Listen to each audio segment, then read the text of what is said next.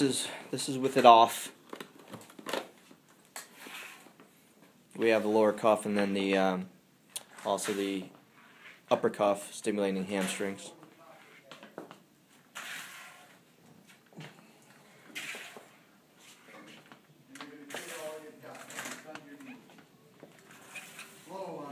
All right, now I'm going to turn it on.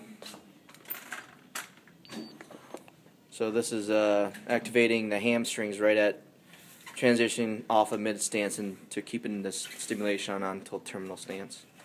It's going to take the second step for the so the heel sensor calculates his swing time.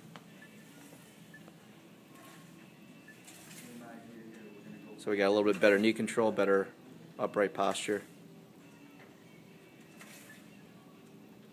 Good. No AFO, neither well controlled. All right, Azrid, I'm going to have you turn around.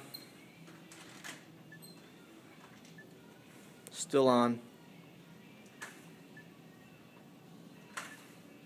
Foot's clearing a heck of a lot better too. Yeah, this is with the upper cuff, uh, stimulating the hamstrings right after term mid stance in, into terminal stance.